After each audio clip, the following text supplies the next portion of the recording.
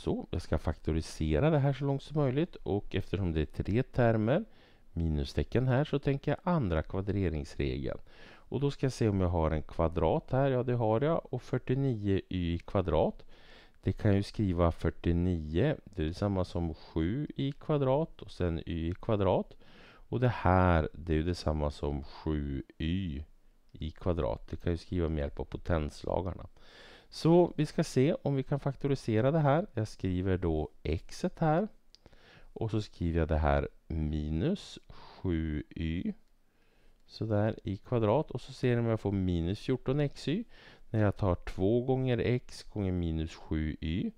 Så 2 gånger x det är 2x. 2x gånger minus 7y. 2 gånger 7 det är 14 gånger x gånger y. Så det verkar stämma.